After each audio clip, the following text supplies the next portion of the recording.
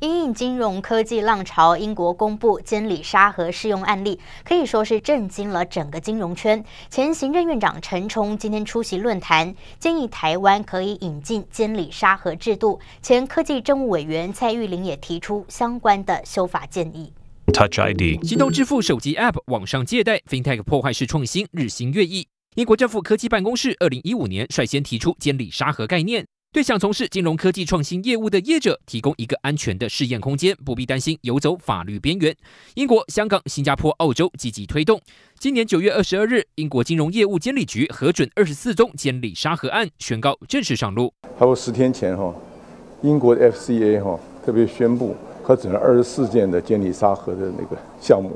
我们现在不能再说说全世界都没有国家做这种事情。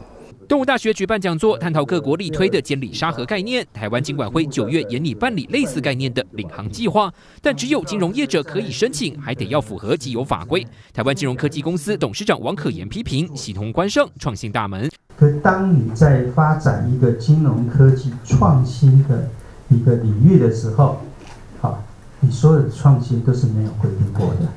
好，所以这个时候你如果说合乎管法法规的话，那也就是创新的事情都不用做了。前行政院科技政务委员蔡玉玲指出，台湾如今发展监理沙盒最大问题，包括行政命令可能与法令抵触，相关修法又横跨多个部门，建议让监理沙盒法优于一般法，也要有跨部会的协调单位。待了那么久，进政府机关最最最大的感受就是慢啊，让我们的立法有弹性，让我们的这个公务员有裁量权，让 Sandbox 里面可以是一个特别法。它可以优于现在的这个普通法的话，也许在操作的可能性上就更高。